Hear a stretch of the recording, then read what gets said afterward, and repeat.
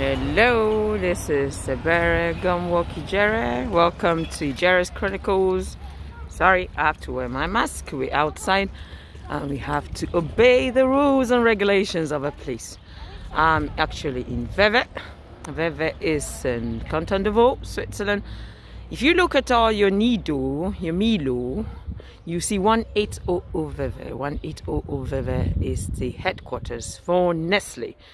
I will take you there one of these days where you see the monumental historic building of Nestle, Switzerland. Now, behind me is an old people's home. We have many of them in the region where old people, when they can't stay at home, they are looked after.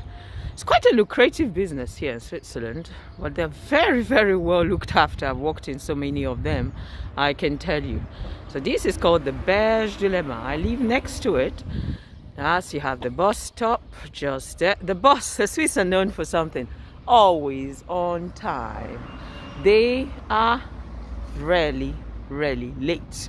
So right now I'm waiting for my bus to go down to town, get a few things, and then I'll be back to work again. Yes, I'm working in the night and I walked in the night and thank God I'm alive. So you see the spring, the, the flowers are coming out. You have the sun see them? Beautiful tree behind me it's just flowering. And I love spring because you see the colors and the flowers coming out. So this is 1800 Vevey. I would like you to go and research on what Vevey is known for but it's known for Nestle headquarters in Switzerland.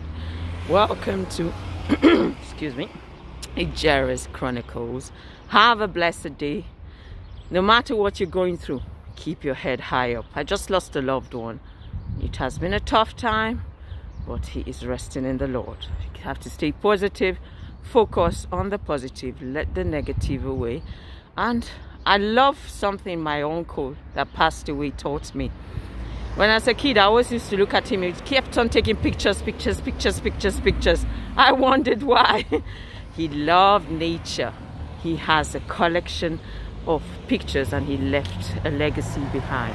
I took this after him, loving nature, loving what God has created, and that gives me life. You take care. My boss is here. Ijere's Chronicles.